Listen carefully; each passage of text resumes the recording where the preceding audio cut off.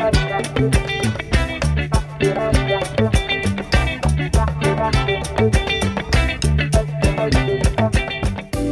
วัสดีค่ะคุณผู้ฟังต้อนรับคุณผู้ฟังทุกท่านนะคะ เข้าสู่ช่วงเวลาของ RMU TP อัปเดตเช่นเดิมเลยนะคะ คุณผู้ฟังมาอยู่กับฝนนันทนาสีมาแบบนี้ก็จะพบกับเรื่องราวข่าวสาร กิจกรรมที่เกิดขึ้นในรอบรั้วของราชมงคลพระนครของเราเช่นเดิมเลยนะคะสำหรับข่าวแรกวันนี้ที่นำมาฝากกันค่ะ ไปดูผลงานของน้องๆนนักศึกษา จากคณะ อุตสาหกรรมสิ่งทอและออกแบบแฟชั่นนะคะ และก็คณะสถาปัตยกรรมศาสตร์และการออกแบบค่ะ ซึ่งน้องๆนะคะก็เป็นผู้ที่คว้าแชมป์ผลงานสหกิจดีเด่น ประจำปีการศึกษา 2565 ค่ะ โดยทางราชมงคลพระนครค่ะ ได้มีการจัดเวทีประกวดผลงาน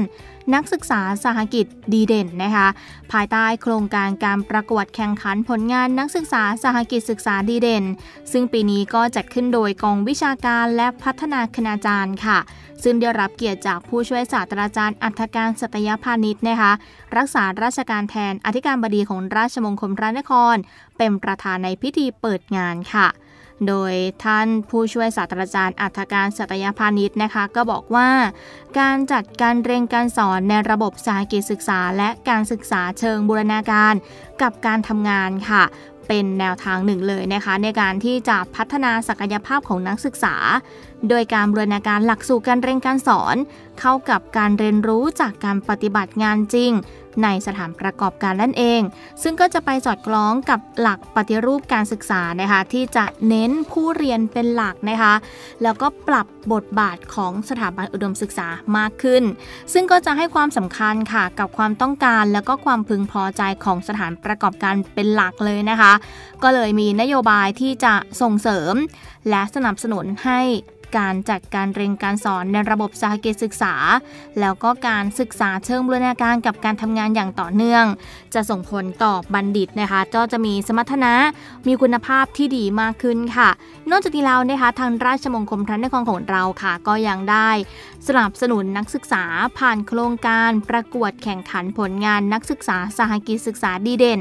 เพื่อให้เกิดความรู้ความเข้าใจ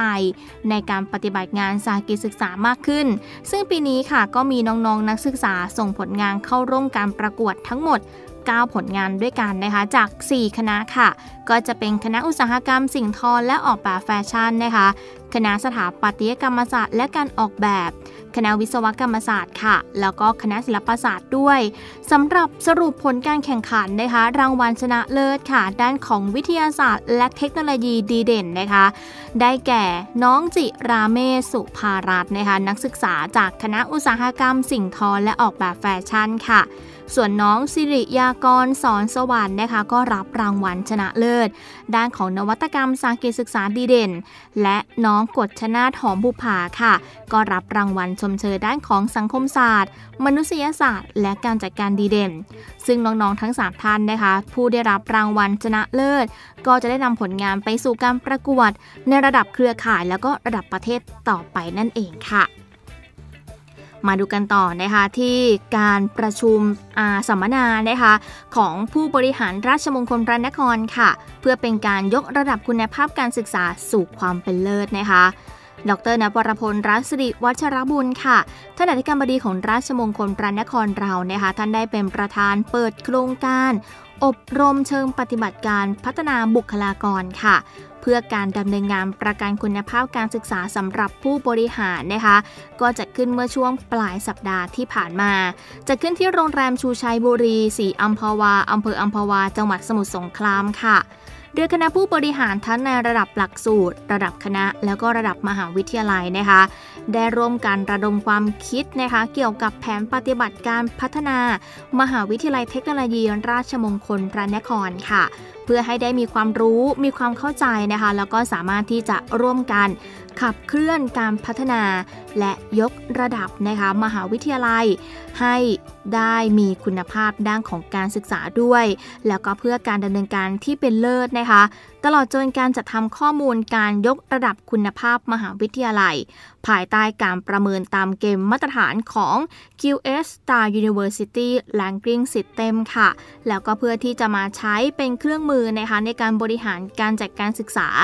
สู่ความเป็นเลิศอย่างก้าวกระโดดนั่นเอง แล้วก็ยังสามารถที่จะแข่งขันในระดับนานาชาตินะคะแล้วก็ระดับชาติต่อไปในอนาคตอีกด้วยละค่ะสำหรับโครงการนี้นะคะก็มีการบรรยายแล้วก็มีวิทยากรหลากหลายท่านเลยนะคะ ที่มาร่วมให้ความรู้ในครั้งนี้ค่ะ ไม่ว่าจะเป็นรองศาสตราจารย์เภสัชกรสมภพ ประธานุธารักษ์นะคะ รองอธิการบดีฝ่ายพัฒนาคุณภาพ และบริการวิชาการ จากมหาวิทยาลัยมหิดลค่ะ ผู้ช่วยศาสตราจารย์ ดรเทีรศักดิ์พลาพลงนะคะ ผู้ทรงคุณวุฒิ แล้วก็ผู้ประเมิน TQA นะคะรวมไปถึงผู้ช่วยศาสตราจารย์ ดร บุญธิดา เอื้อพัฒนากูลนะคะ รองผู้อำนวยการสำนักวิทยาบริการ และเทคโนโลยีสารสนเทศ จากมหาวิทยาลัยเทคโนโลยี ราชมงคลธัญบุรี ก็มาร่วมบรรยายข้อมูลในครั้งนี้ด้วยค่ะมาติดตามข่าวจากทางคณะเทคโนโลยีขหกรรมศาสตร์ค่ะ ที่ได้มีการจัดทดสอบมาตรฐานฝีมือแรงงานแห่งชาติ ในสาขาช่างจัดดอกไม้ระดับหนึ่งค่ะ โดยศูนย์ทดสอบมาตรฐานฝีมือแรงงานนะคะของคณะเทคโนโลยีขหากรรมศาสตร์ของราชมงคลพระนครค่ะ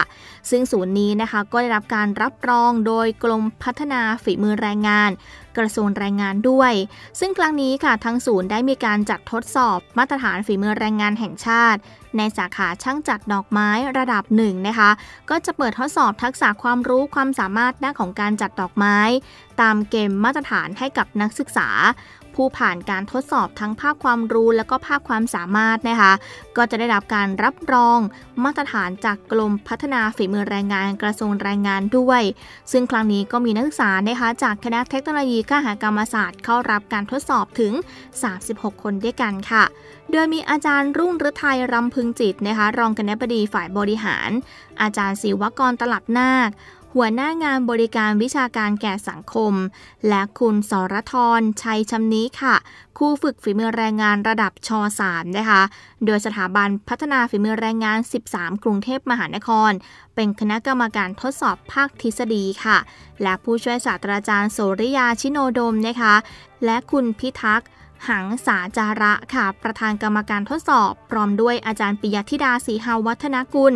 อาจารย์อนุสรใจทน อาจารย์นิออนดาวเจริญพร อาจารย์รุ่งฤทัยรำพึงจิต ร่วมเป็นคณะกรรมการในภาคปฏิบัติอีกด้วยแล้วค่ะสำหรับคุณผู้ฟังท่านใดนะคะที่สนใจจากเข้าร่วมทดสอบมาตรฐานฝีมือแรงงาน ไม่ว่าจะเป็นช่างสาขาใด ๆ ก็ตามนะคะที่เกี่ยวเนื่องกับทางขหกรรมศาสตร์นะคะก็ทางศูนย์ทดสอบมาตรฐานฝีมือแรงงาน ก็จะมีการจัดทดสอบกันอยู่บ่อยๆนะคะก็สามารถติดตามข้อมูลข่าวสารเพิ่มเติมได้